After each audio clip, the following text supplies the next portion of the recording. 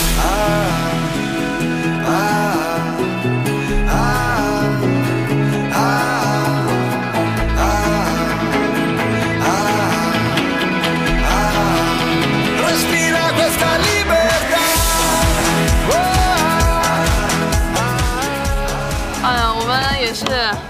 从第二个村出发到第三个村吃了中饭，哦不对，就在第二个村，然后我们出发到了第三个村，然后再逛了第三个村之后再回了第二个村。对。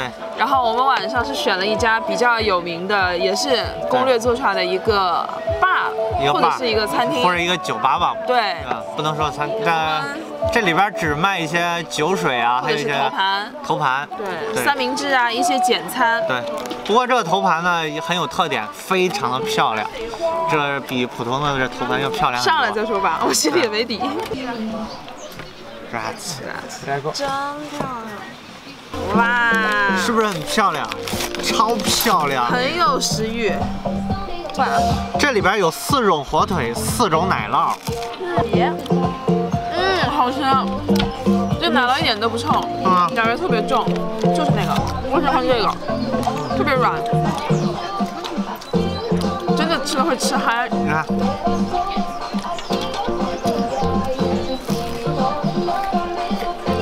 别说咸，还是真的咸。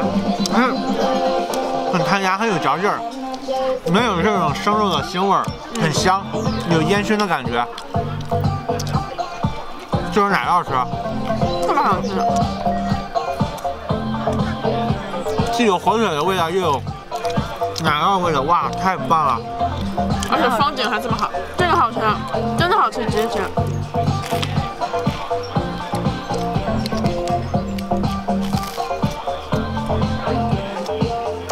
我们试一下这种的，你看它有酱。嗯，这个应该是牛，看得出来。看这有四，这有几种不同的蘸酱，真的不错。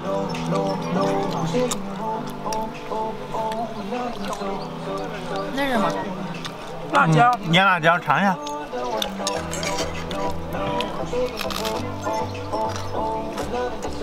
嗯，这个辣椒不辣，酸酸的，可好吃了。这个奶酪有一些酸，硬硬的。嗯，还有这种有一定肥肉的这种火腿。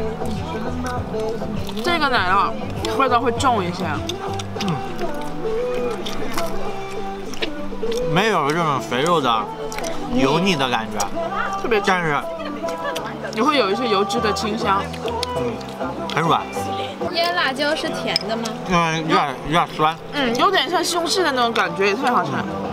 你尝尝这绿酱，是一种植物的那种感觉，尝尝。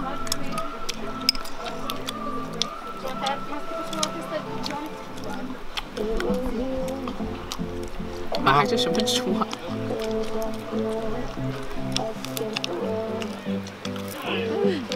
什么植物？不是，是不是就是薄荷？应该不是薄荷。不，薄荷会有很大的味道，就是薄荷味儿。说不出来，有点咸。嗯你觉得哪个酱最好吃？这是我见过最漂亮的头盘。我觉得还是蜂蜜比较好吃，嗯，我喜欢配果酱。奶酪蘸蜂蜜哦。看吧，它是上了个菜板上的。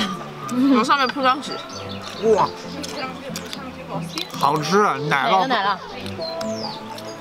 这，这个奶味重吗？嗯，还行。还行。不算了，我还是试试看。奶酪配蜂蜜真的好吃块。我们试试这个火腿蘸蜂蜜啊。嗯，好硬啊！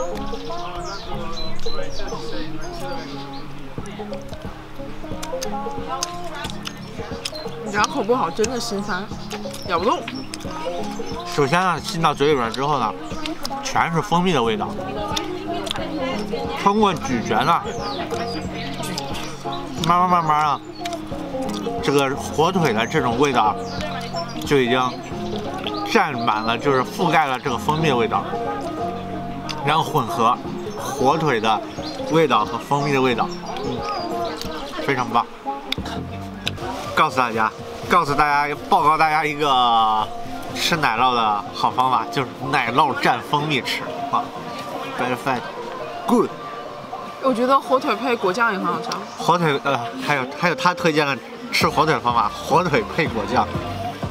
这这一个是要二十八欧，其实也不贵，你想想是在对，三到三到四个人对吧？三到四个人吃这一顿，其实并不贵。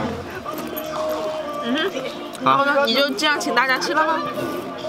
我说过吗？对啊我们先我们先拜拜吧，好吧？好，拜拜。去姐姐。